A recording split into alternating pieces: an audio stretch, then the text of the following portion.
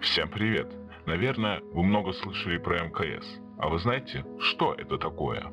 МКС – Международная космическая станция. Она сейчас служит для экспериментов в космосе, исследованию и развитию всех стран. На этом корабле люди из 14 стран мира на данный момент.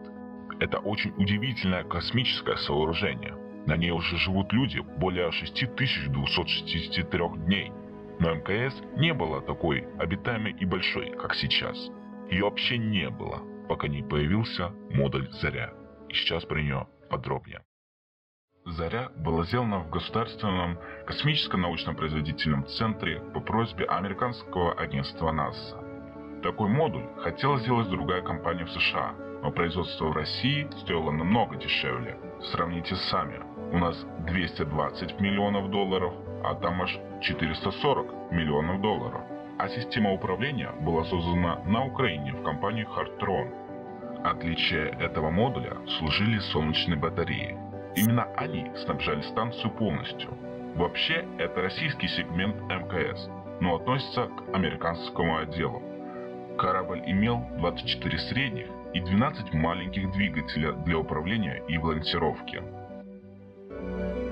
Запуск и начало существования Международной космической станции произошел 20 ноября 1998 года с космодрома Байконур.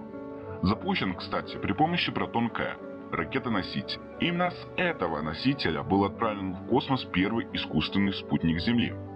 В первые 15 дней полета к нему присоединился первый модуль – Unity американского производства – до 2000 года Заря служила для электропитания и курса в космическом пространстве, но после стыковки со звездой все функции перешли к ней и распространились по другим.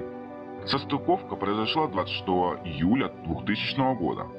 Сейчас главной функцией старенького модуля Заря является хранение топлива и склад различных веществ. В 2010 году он начал служить и для некоторых экспериментов на борту.